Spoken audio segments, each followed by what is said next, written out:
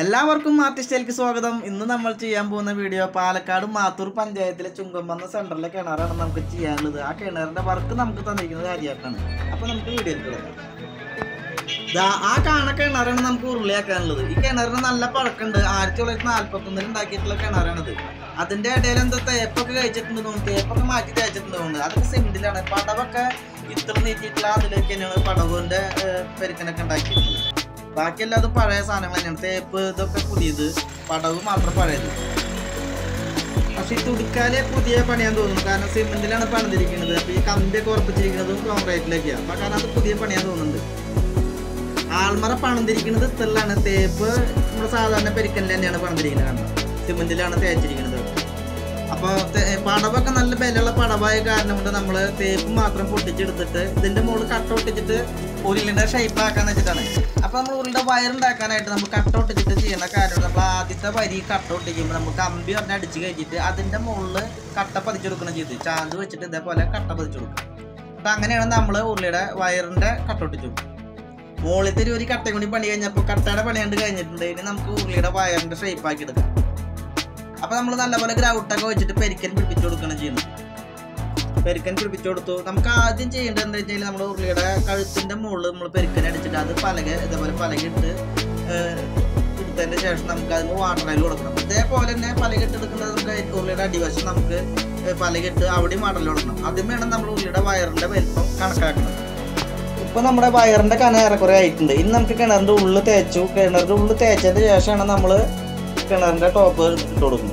ഇതേപോലെ ഇട്ട് കൊടുക്കും. അപ്പോൾ അത് ഇട്ട് കഴിഞ്ഞാൽ നമ്മൾ വാട്ടർ ലെവലിനെയാണ് കറക്റ്റായിട്ട് നമ്മൾ വാട്ടർ ലെവൽ നോക്കിയിട്ട് വേണം നമുക്ക് ഇതിന്റെ മുകൾ വശം ശരിയാക്കാനായിട്ട്. അല്ലെങ്കിൽ ഉരുളി ചെരിഞ്ഞിട്ടൊക്കെ ഇരിക്കുന്ന മാതിരി തോന്നും. അളവൊക്കെ ആ ഒരു രസം ഉണ്ടാവില്ല പുറത്തുനിന്ന് കാണുമ്പോൾ അപ്പോൾ അത് കറക്റ്റ് വാട്ടറിലാക്കിയിട്ട് ഇതേപോലെ കോരി തള്ളി കൊടുക്കും.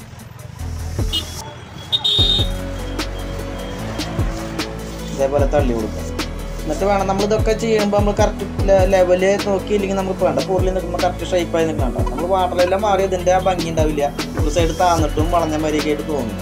അപ്പോൾ നമ്മൾ കറക്റ്റായിട്ട് വാട്ടറിൽ നോക്കും ഇനിയിപ്പോൾ നമ്മൾ ഉരുളിയുടെ വയറ് നമ്മൾ കനം പിടിപ്പിച്ചിട്ടുണ്ടായിരുന്നു. അത് നമുക്ക് ഇനി ഇതേപോലെ കറക്റ്റായിട്ട് നമ്മുടെ ആവശ്യത്തിന്റെ വളവ് ഷേപ്പ് ആക്കി എടുക്കാം. നമ്മളിപ്പോൾ അതൊരു നമ്മൾ ഒരു ചെറിയ കോൽ വളച്ചിട്ട് നമ്മളൊരു അളവ് കോൽ ഉണ്ടാക്കിയിട്ടുണ്ട്. അപ്പോൾ ആ കോലുകൊണ്ടാണ് നമ്മൾ ഇതേപോലെ തള്ളി കൊടുക്കുക ചെയ്യുക നമ്മൾ. നമ്മൾ ആദ്യം ഉരുളിയുടെ കഴുത്തിന്റെ നമ്മൾ വാട്ടർ ലെവൽ ചെയ്തിട്ടുണ്ടായിരുന്നു. ആ വാട്ടർ ലെവലിന്റെ ഒപ്പം നമ്മൾ കണ്ടത് അതേപോലെ ടോപ്പ് ശരിയാക്കിയതിന്റെ ശേഷം നമ്മൾ ആ വളച്ച കോലുകൊണ്ട് ഇങ്ങനെ വലിച്ചു കൊടുക്കുകയാണ് ചെയ്യുന്നത്. പെരുക്കൻ തള്ളിയെടുക്കുക ചെയ്യുക. അപ്പോൾ അടിയിൽ നമ്മുടെ ലെവലുണ്ട് മുകളിലും ലെവലുണ്ടാവും ആ ലെവലിലേക്ക് നമ്മൾ രണ്ട് വളവും ഒപ്പിച്ച് തള്ളുകയാണ് ചെയ്യുക അതേപോലെ തള്ളി കൊടുക്കുക. അപ്പോൾ നമ്മുടെ ഉരുളിയുടെ വയറിന്റെ വലിപ്പം ഏറെക്കുറെ റെഡി ആയിട്ട് വരും.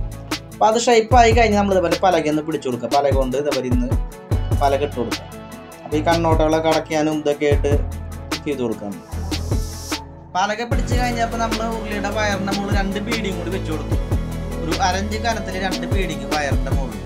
പിന്നെ അത് കഴിഞ്ഞ് നമ്മൾ ചെയ്യാനുള്ളതെന്ന് വെച്ച് കഴിഞ്ഞാൽ നമുക്ക് കാത് പിടിപ്പിച്ചിടണം നാല് കാതാണ് നമ്മൾ ഇതിന് പിടിപ്പിച്ചിടുന്നത് വലിയ കിണറായ കാരണമുണ്ട് പഞ്ചായത്ത് കിണറല്ലേ. അപ്പൊ നാല് കാത് വെച്ച് കൊടുത്തു. അതിന്റെ ഇടയിലാണ് നമ്മൾ വട്ടക്കണ്ണി വെച്ച് കൊടുക്കുന്നത്. അപ്പൊ വട്ടക്കണ്ണി നാലെണ്ണം വരും. ഇത് മറ്റേ കാത് നാളങ്ങൾ വെച്ച അപ്പൊ അതിന്റെ ഇടയിലായിട്ടാണ് നമ്മൾ ഈ വട്ടക്കണ്ണി വെച്ച് കൊടുക്കുന്നത് അപ്പൊ അതും നാലെണ്ണം വരും. അപ്പൊ നാല് വട്ടക്കണ്ണി വെച്ച് കൊടുക്കാം പിന്നെ ഈ വട്ടക്കണ്ണി വെക്കണതും പണിയണതും ഒക്കെ നമ്മൾ മറ്റുള്ള വീഡിയോകളൊക്കെ നമ്മൾ കൂടുതലും ഈ ഉരുളി തന്നെ ചെയ്യണ കാരണം എല്ലാ വീഡിയോയിലും നമ്മൾ ഇങ്ങനെ ഈ വട്ടക്കണ്ണി ഉണ്ടാക്കുന്നതും കാത് ഉണ്ടാക്കുന്നതും ഒക്കെ കാണിക്കുന്നുണ്ട്. ആ കാരണം നമ്മൾ ഇതിന് സെപ്പറേറ്റ് ആയിട്ടൊന്നും വേറെ വേറെ എടുത്ത് കാണിക്കണില്ല. അപ്പൊ ഒരു നാല് വട്ടക്കണ്ണി വെച്ച് കൊടുക്കാം. പിന്നെ നമുക്ക് ഇതിനെ വെള്ളം കോരാനുള്ള സംവിധാനം ഇതിന് ചെയ്യണം. എന്ന് വെച്ച് കഴിഞ്ഞാൽ ഇപ്പോൾ ഇത് എപ്പോഴെങ്കിലും വെള്ളം കോരേണ്ടി വരില്ല. ഇപ്പോൾ സാധാരണ മോട്ടർ അടിച്ചെടുക്കണ ഒരു പരിപാടി ആവില്ല പഞ്ചായത്ത് കിണറാകുമ്പോൾ ഇവിടെ കുറച്ച് കടക്കാർ മാത്രമാണ് ഇതിന് വെള്ളം എടുക്കുന്നത് അപ്പോൾ നമ്മൾ ചട്ടകം വെച്ചിട്ട് തന്നെയാണ് ചട്ടകത്തിന്റെ വെള്ളം കോരാനായിട്ട് ചട്ടകത്തിന്റെ ഒരു മോഡൽ തന്നെ നമ്മൾ തുടി ഉണ്ടാക്കുന്നത് അപ്പോൾ തുടി ഉണ്ടാക്കിയിട്ടുണ്ട് അത് നമുക്ക് ഉറപ്പിക്കണം പറ്റും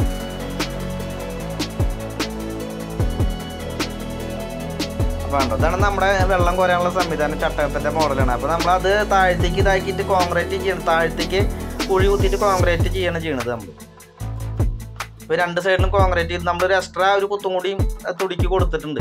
ഇനിയിപ്പോൾ വല്ല കംപ്ലൈന്റ് വെച്ച് പഞ്ചായത്ത് കിണറില്ല വല്ല കംപ്ലൈന്റുകളൊന്നും വരാതിരിക്കാൻ എക്സ്ട്രാ ഒരു കുത്തും കൂടി നമ്മൾ അതിന് കൊടുത്തിട്ടുണ്ട്. ഇനി നമുക്ക് ഇതിന്റെ നമ്മൾ വയറിന്റെ മുകളിൽ നമ്മൾ രണ്ട് ബീഡിങ് വെട്ടിനായിരുന്നു. അതിന്റെ ഉള്ളിൽ നമുക്ക് ഡിസൈൻ കൂടി വെട്ടി കൊടുക്കാം. അപ്പോൾ ഈ ഡിസൈൻ കൂടി വെട്ടി കഴിഞ്ഞാൽ നമ്മുടെ ഉരുളിയുടെ വർക്ക് കഴിഞ്ഞിട്ടുണ്ട്. നമ്മൾ കയറിന്റെ വർക്ക് കാണിച്ചിട്ടില്ല? നമ്മളിതൊക്കെ സെപ്പറേറ്റ് സെപ്പറേറ്റ് തന്നെ കാണിച്ചിട്ടുണ്ട് എല്ലാ വീഡിയോകളിലും ആ കാരണം നമ്മൾ പ്രത്യേകിച്ച് എടുത്ത് കാണിക്കണില്ല ഒന്നും. അപ്പോൾ നമുക്കിപ്പോൾ ഈ ഡിസൈനോട് വെട്ടി കഴിഞ്ഞാൽ നമ്മുടെ ഈ ഉരുളിയുടെ തേപ്പിന്റെ സെക്ഷൻ കഴിയാണ്. പിന്നെ അത് കഴിഞ്ഞ് നമുക്ക് കുറച്ച് ദിവസം കഴിഞ്ഞപ്പോൾ ഇതിന്റെ നനയും അങ്ങനെ അതൊക്കെ കഴിഞ്ഞ് കഴിഞ്ഞാൽ ഒരു അഞ്ച് പത്ത് ദിവസം കഴിഞ്ഞാൽ നമുക്കത് പെയിന്റ് അടിച്ചു തുടങ്ങാം കണ്ടോ? ഇപ്പോൾ നമ്മുടെ എല്ലാ വർക്കുകളും ഒതുങ്ങിയിട്ടുണ്ട്. ഇപ്പോൾ ഉരുളിയുടെ തേപ്പിന്റെ സെക്ഷൻ ഉണ്ട് കഴിഞ്ഞിട്ടുണ്ട്. ഇനി നമുക്കൊരാഴ്ച നനച്ചു കൊടുക്കണം. അത് കഴിഞ്ഞ് നല്ലതുപോലെ ഉണങ്ങിയിട്ടാണ് നമ്മൾ പെയിന്റിങ് തുടങ്ങുക ഇപ്പൊ നന്നായി ഉണങ്ങിയിട്ടുണ്ട് ഇനി നമുക്ക് പെയിന്റിങ് തുടങ്ങാം. അപ്പോൾ അതിനായിട്ട് നമ്മൾ നല്ലതുപോലെ ഒര പേപ്പർ ഇട്ട് നല്ലോണം ഉരച്ച് നമ്മുടെ ഈ പിസറുകളൊക്കെ ഉണ്ടാവില്ല അതൊക്കെ നന്നായി ഉരച്ച് കളഞ്ഞ് നമുക്ക് പ്രൈമർ അടിച്ചു കൊടുക്കും. അപ്പോൾ കിണറിന്റെ ഉള്ളിലും നമ്മളിപ്പോൾ തേച്ചത് ഒരു ഒരു വരി ഒരു കഷ്ടി ഒരു മീറ്ററോളം ഉണ്ട് നമ്മൾ സൈഡ് തേച്ചത്. അതും പിന്നെ ഉരുളിയുടെ പുറം സൈഡ് കയറും. എല്ലാം നമ്മൾ പ്രൈമർ അടിച്ചു കൊടുത്തു.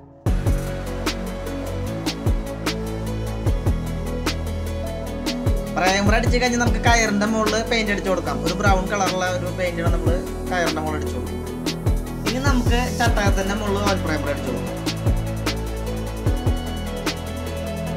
ഓയിൽ പ്രൈമർ മാത്രമല്ല നമുക്ക് ചട്ടകത്തിന്റെ അതേ കളർ കൊടുക്കണം നമുക്ക് അതിന്റെ മുകളിൽ ഇപ്പോൾ ഇനി നമുക്ക് ഉരുളിയുടെ മുകളിൽ ബ്ലാക്ക് കൊടുക്കാം. ഉരുളിയുടെ ഉള്ളിലും പുറത്തും നമ്മൾ ബ്ലാക്ക് അടിച്ചു കൊടുത്തു.